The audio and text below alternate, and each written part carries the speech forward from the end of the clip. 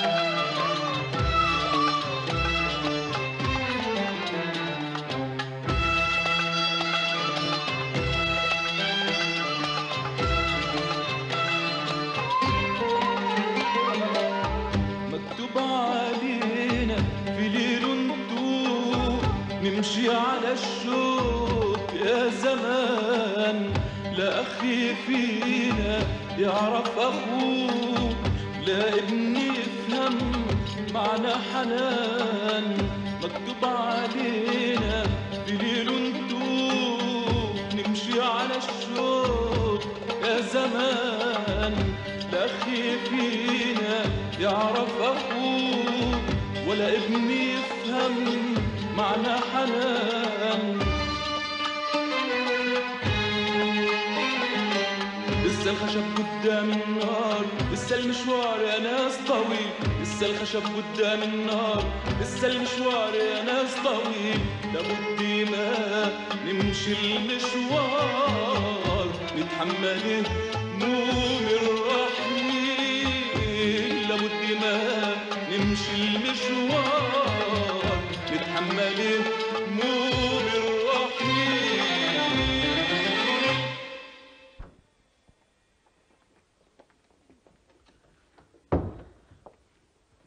انت قليتي قيمتي قدام الدكتور كامل وأمي وابوي يا زكيه أنا يا صالح. أيوه أنت. قالي لي إني أشوف أخوي ومرته يتعهدوا برعاية أمي وأبوي. وأنا الكبير أوقف مثل الأخرس؟ لأنك مش انتهازي يا صالح. وأنا ما تعودت أخدم حد بمقابل. تخدمي حدا بمقابل؟ تتوقع يا صالح لو كان أبوك فقير كانت هلكت حنان وفؤاد على خدمة مرته؟ أنا بدي أضل أقنعك وتنسى وأقنعك وتنسى. خلينا نرجع لفؤاد. ما اكتشفت إنه بيتصرف في المصنع وكأنه الوريث الوحيد لأبوك؟ إذا وأبوك عايش بيتصرف هيك فكيف بيصير الحال بعد ما يموت أبوك بعد عمر طويل؟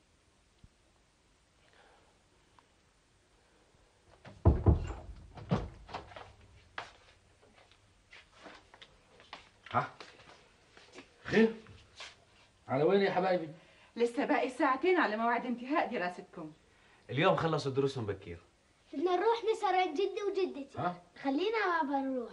طيب طيب تكرم يلا نروح نشوفهم إذا سهرانين ولا نايمين. يلا.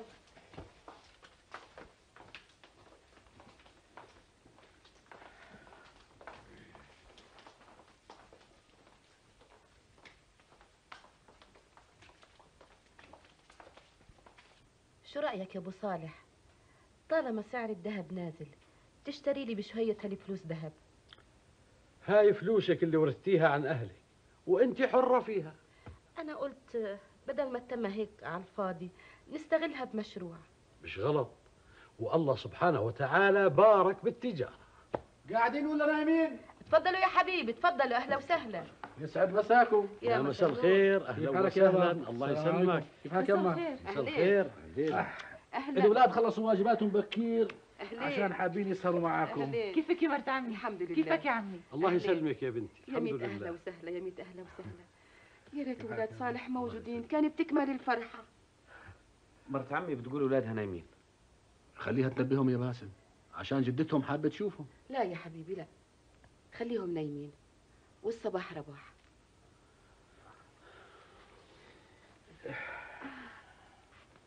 يا ميت أهلا وسهلا بالجميع. هلا بيك يا أهلين أما. بحبايبي. أهلين أهلين.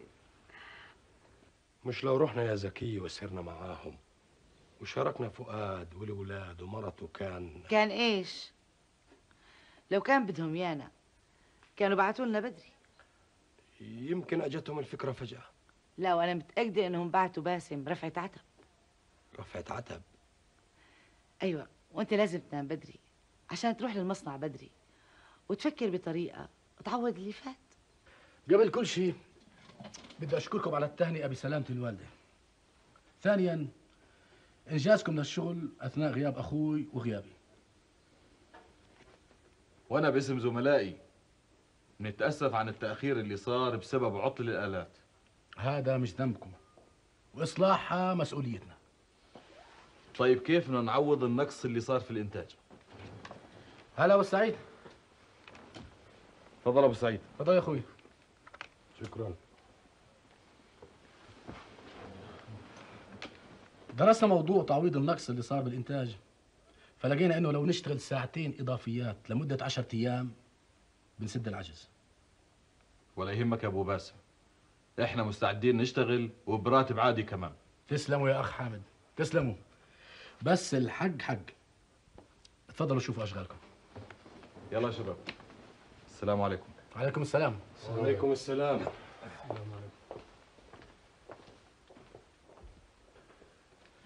هذا مش دليل جديد على أنك بتعتبر حالك الأمر الناهي الوحيد؟ نعم. الآمر الناهي؟ مش قلت على سمعك إني بدي آجي بكرة للمصنع بكير وأعمل خطة لتعويض العجز؟ وما أجيت إلا بعد أربع ساعات. بعدين قول لي يا أخوي على أي أساس بدك تضع خطة ها؟ هلا السلام. عليكم. وعليكم السلام. يابا. تفضل تفضل يابا تفضل. تفضل يابا ها خير يابا أمك طلبت أشتري لها بفلوسها ذهب. لأنه الذهب سعره نازل اليومين. اشتري يابا وتوكل على الله. ما أنا اشتريت يا ابني بس بدي إياك تيجي معاي مشان ناخذهم من عند الصايغ. حاضر يابا توكل على الله. تفضل. يا الله يا رب. يلا.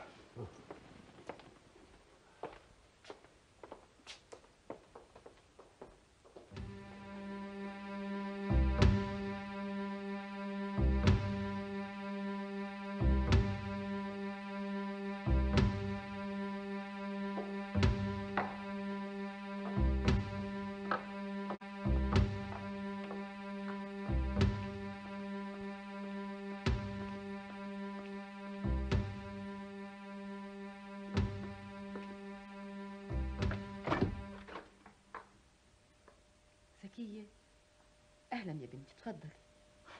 أتفضل. تفضلي. ليش ما بتخلينيش أشوفك وأشوف أولادك؟ تشوفينا. طبعا. أنا بشتاق لكم كتير. صحيح بتشتاقي لنا؟ ليش؟ أنا عمري كنت غير هيك. هذا أنت كأنك. كأني إيش يا بنتي؟ حرام عليكي حرام على اللي زيك. على حفة قبرها بتفرق بين ولد وولد وحفيد وحفيد.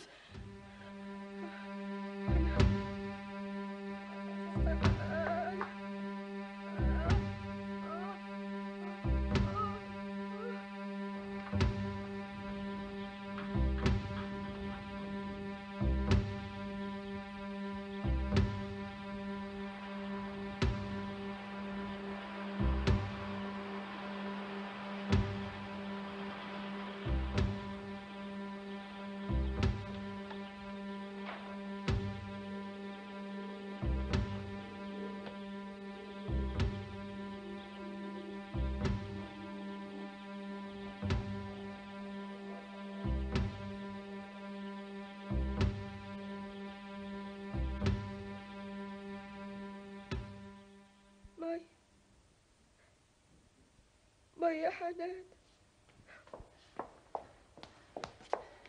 اسم الله عليك يا مرحبا. بسم الله الرحمن الرحيم.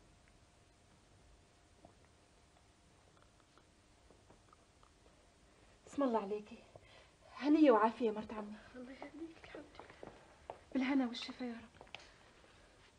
خير شو في؟ مالك يما حسيت بعطش بده يطلع روح لكن الحمد لله لما شربت ارتحت. سلامتك يما هي طلبك ربنا يسره وبسعر مناسب كمان. تفضل. تسلموا ايديك إذا ممكن أعطوني ورقة وقلم وظرف. حاضر. طلبك بالدرج موجود. تفضل.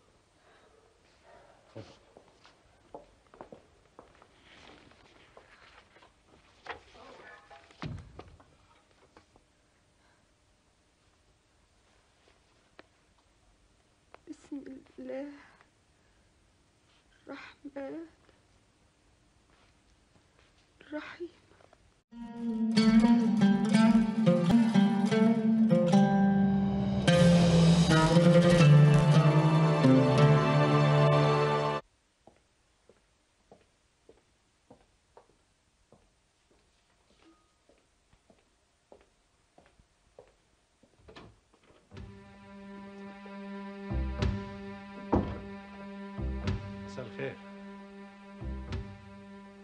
انت مالك أنا مالي؟ أنت اللي مالك. مريت على شقة أبوك؟ ليش في شيء؟ أبوي بده ايانا كلنا يا صالح. طيب يا أخوي بغير اواعي وبلحقك.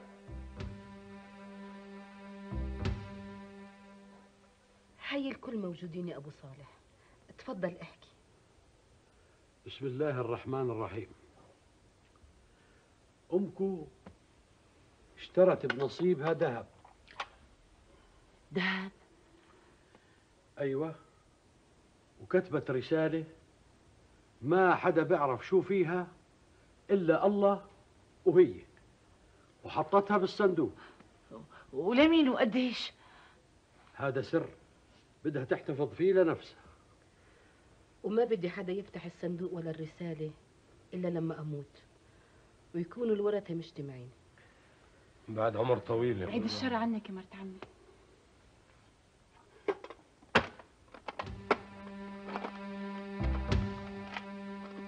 تفضل. هاي المفتاح.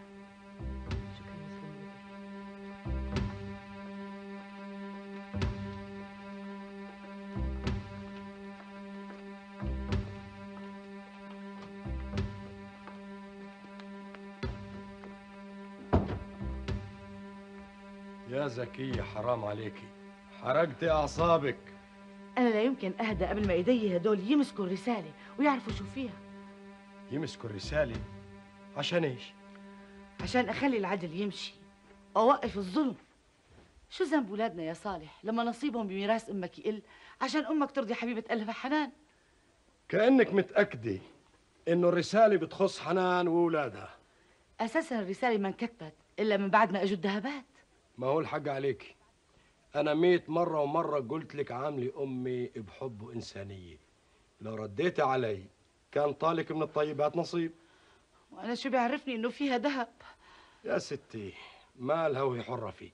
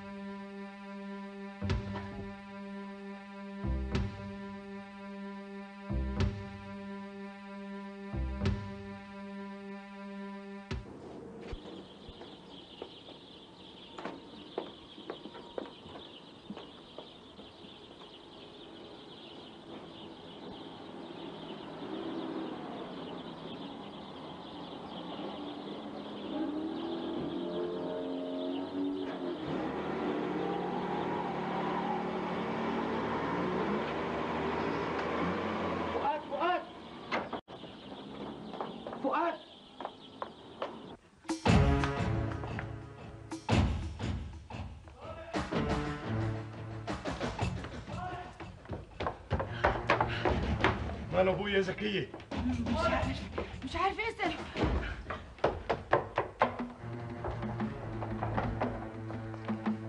شو فيها؟ شو فيها يا جماعة؟ أمك يا صالح مالها يابا ماتت. امي أمي ماتت؟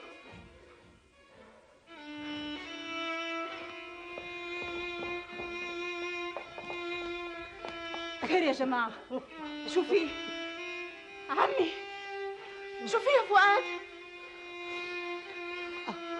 أمي ماتت يا حبايب.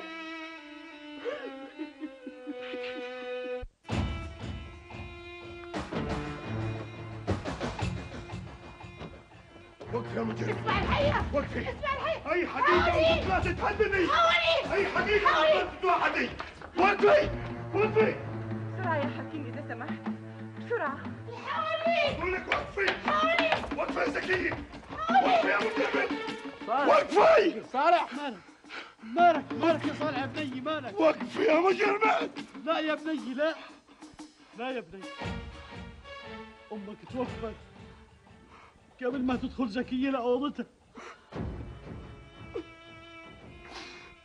يا حبيبتي يما يا حبيبتي يما يا حبيبتي يما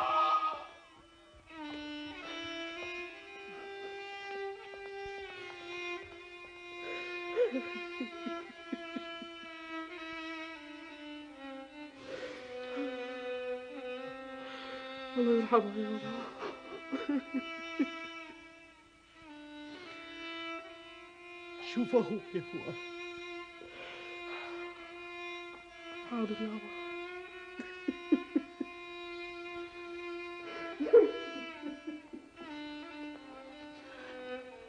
عمي.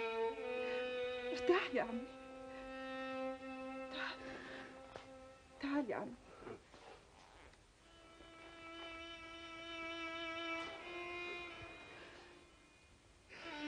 قول الله يرحمها يا عمي وبلاش بكى اصبت عني يا ابني طيب بدناش نتصل بسامية.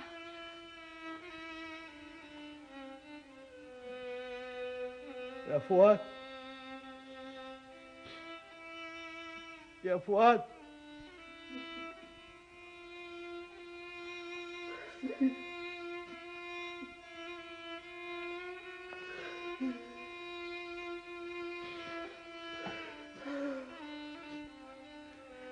اتصل بأختك سامية. مشان إذا بدها تيجي نأجل الدفن. وإذا لا نتصل بالأهل واصحاب وندفن أمكم لأنه إكرام الميت دفن.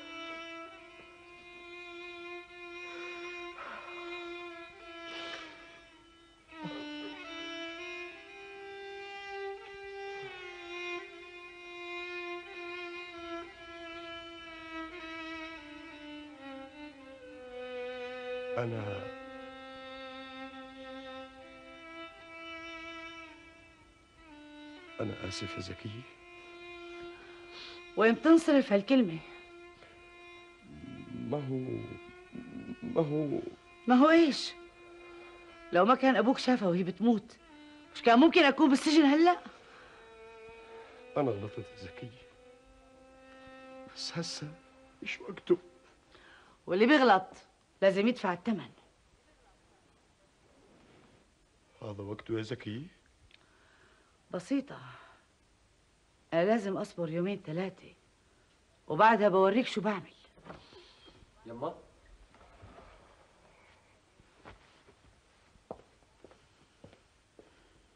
انت ليش هون؟ وين بدك ياني أكون؟ تحت. مش كويس كل الناس تحت إلا أنت. على وين؟ بدي أروح أصبر جدي تصبر جدة.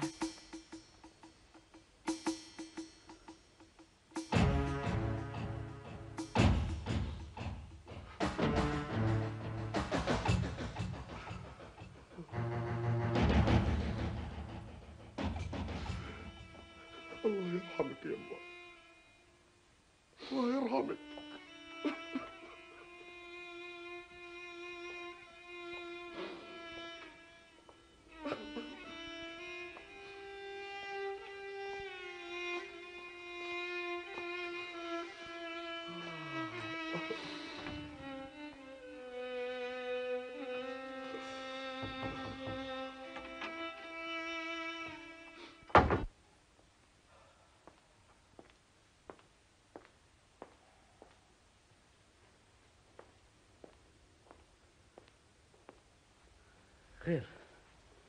شو مالك يا حنان؟ نظرات ذكية وحركاتها غير شكل. ما هو اللي عملوا فيها صالح مش قليل يا حنان. بس يا ريت تخفف عنها. وتديروا بالكم على الأولاد.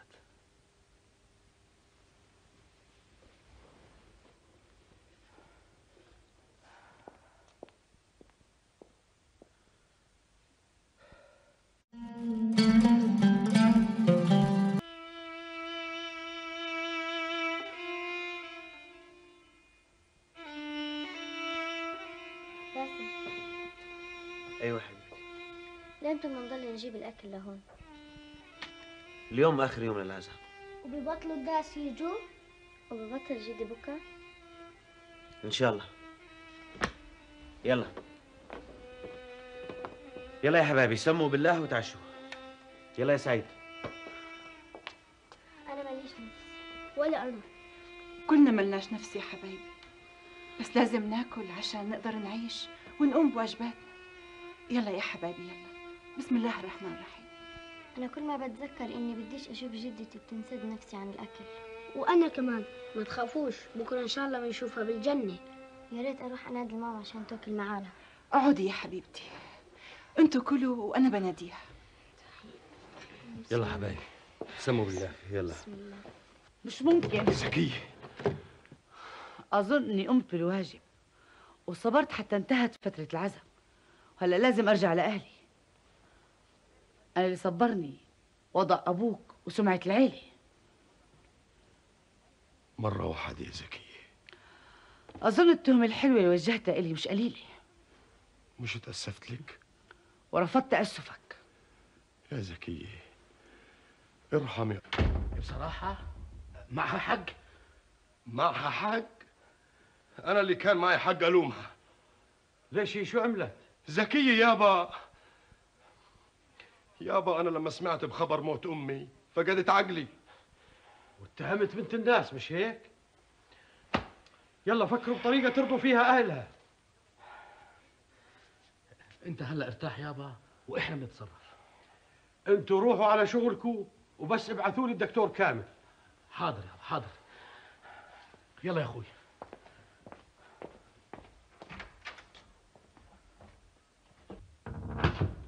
ماما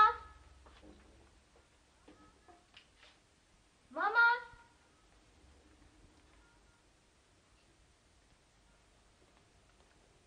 سعيد. وين ماما؟ خلص أمنا راحت لبيت أهلها. ومين بده يمشطني ويجهزنا للمدرسة كل يوم؟ أنا يا حبيبتي أنا. وبعدين إن شاء الله غيبة أمكم ما بتطول. يلا يلا يا ليلى يلا يا سعيد. قوموا ارتاحوا عشان بعد شوي تتغدوا مع أولادي وتبدوا تدرسوا. أنا بدي أروح أشوف جدي. أنا لازم أغير من لبس المدرسة. آه طبعا طبعا. وأنا رايحة أساعدك. يلا يا حبيبتي وريني وين ملابسك. تعالي.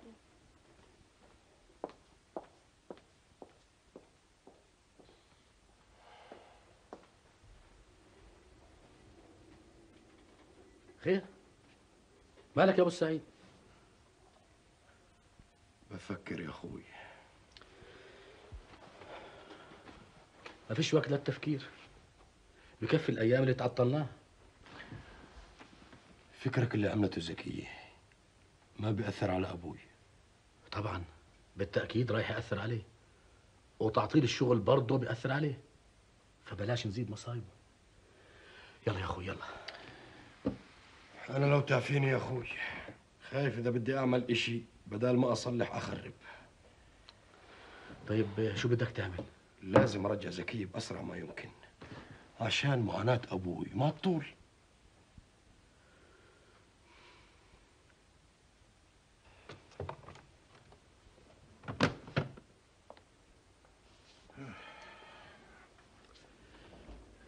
اللي عملته زكية زاد جروحي يا أخوي.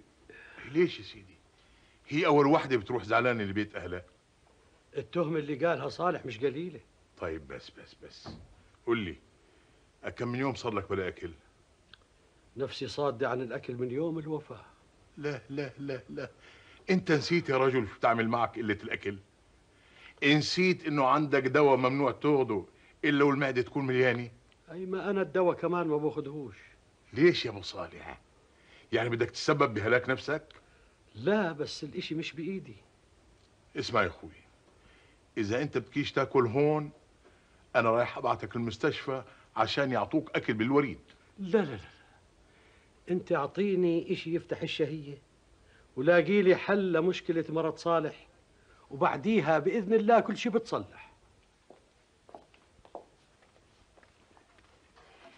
الليلة بتدرسوا هون مع أولاد عمكم. سعيد بقعد على كرسي باسم. وأنا يا مرت عمي. أنت يا ليلى بتقعدي على كرسي رامي. يلا يا حبيبتي. وممنوع واحد منكم يحكي مع التاني أثناء الدراسة.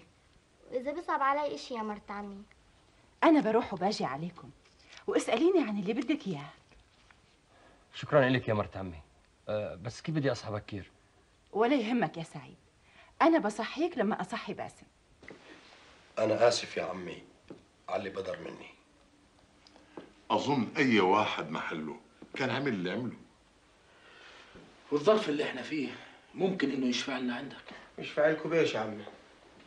السلام عليكم. عليكم, عليكم السلام ورحمة الله. وعليكم السلام ورحمة الله. أنا ما عرفتش أبوي باللي صار يا جماعة. ما عرفتك باللي صار يا أبو زكي؟ لأنها الغلطة ما بتستاهل. الغلطة بتستاهل يا حكيم. بس اللي خلاني أتساهل وضع العيلة بعد وفاة مرت عمي. أصيلة يا زكية أصيلة. ممكن أعرف شو اللي صار يا جماعة؟ زعل بسيط ممكن يحصل بين كل زوجين. وهلا بنترجاك يا أبو زكي. إنك تسمح لبنتك ترجع لجوزها واولادها أنا ما عندي مانع إذا بنتي بتوافق. إذا بدي أرجع أنا إلي شروط. وأنا موافق على شروطك من غير ما أعرفها.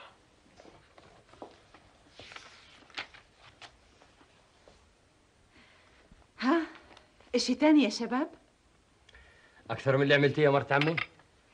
لو محتاجين أكتر من هيك ما عنديش مانع. المهم ما تحسوش بأي نقص وانتوا بتدرسوا. شكرا لك يا مرت عمي. أنت عملتي أكثر من اللازم. لا يا سعيد هذا واجب. ها؟ شو أخبار محمد ورامي؟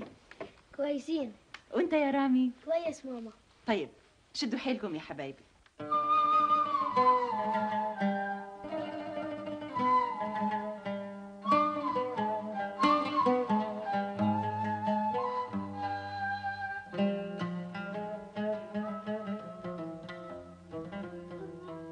شمع المحبة اشتعل وبدر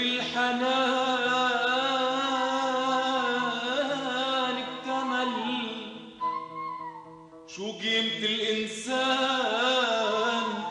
من غير من غير حب وعمل؟ شمع المحبة اشتعل وبدر الحنان اكتمل شو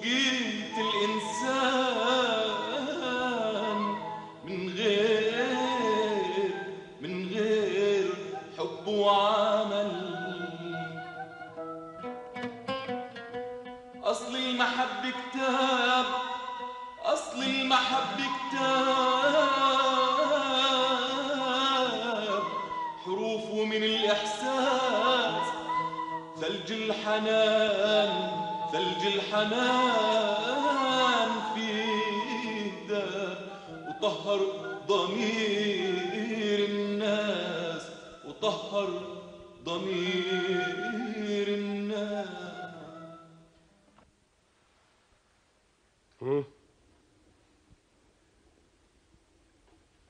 قولي شروطك يا زكية أقول شروطي مش هيك بدك.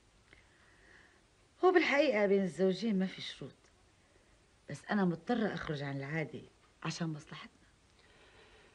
يا ستي قولي اللي عندك. قلت اللي عندي مرات بس أنت؟ أنا هلأ غير امبارح. شو بدك؟ بدي تثبت وجودك بالمصنع. مش بديت يا زكية بديت وما كملت المشوار. هو, هو إحنا اشتغلنا إشي من هذاك اليوم. أفهم من كلامك. إنك ناوي تلحق الموضوع؟ إن شاء الله. غيره. بس تنجح بالشرط الأول. بقول التاني